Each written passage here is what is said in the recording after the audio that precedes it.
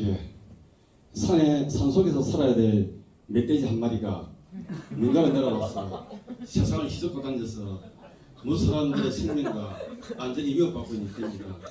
이때 우리 부산을 지키기 위해서 새로 출범한 우리 부산 일전위원회 발대식을 진심으로 축하드리고 부산 노동자의 한 사람으로서 큰 희망을 가집니다.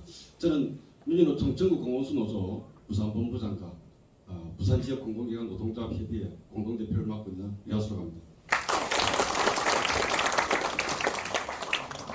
사실 우리 삶이 그렇습니다. 대부분의 우리 삶 속에서는 보이지 않는 곳에서 묵묵히 맡은바 자기 역할을 다하며 일하는 노동자들을 존중하거나 관심을 주지 않습니다.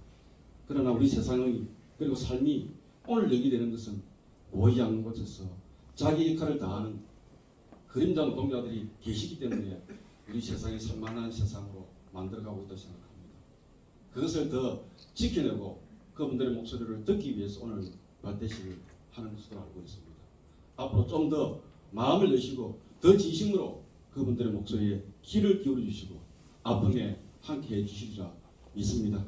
그런 과정에서 때로는 을들이 을들이 또 다른 을들에게 얼얼하게 만들기도 하게 될 것입니다.